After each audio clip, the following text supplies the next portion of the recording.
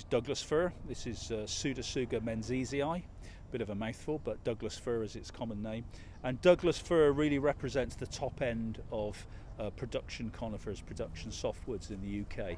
It's quite a demanding species. It needs relatively deep soils, relatively fertile soils, and it can be frost tender when it's young.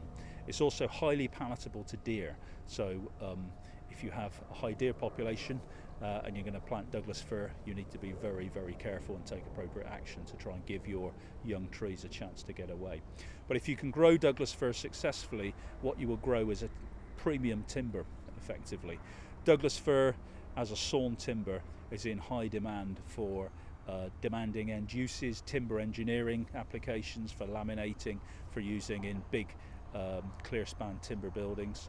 Douglas fir is a top end timber. It performs very well in tension and in compression, so it's a top end, high specification uh, performance softwood. Douglas fir has a tendency to be particularly well grown in the south and the west of the UK, uh, but it's one of the species that as we embrace and start to deal with climate change, maybe some of the conditions um, in the UK that have previously been less suitable for Douglas fir might actually prove to be more uh, more suitable and we can extend its range and grow a higher volume of this potentially very valuable timber. In terms of ID characteristics, a couple of things to uh, bear in mind and contrast it to the, the spruces that we've seen before. If you look at the needle arrangement with this Douglas fir, it's a slightly different profile. The needles are slightly longer, they're slightly uh, flatter in the way that they're held.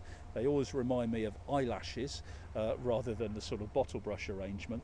They're almost flatter and longer along the branches. So the needle arrangement is slightly different to the spruces. One of the key identification characteristic with Douglas fir, if you look at the buds, if you look at the buds on the tips of this young uh, uh, growth here, they're small, pointed, conical uh, brown buds with a scaly covering to them. So once you get your eye in and can identify them, they're quite distinctive. So small, brown, but pointed, conical buds.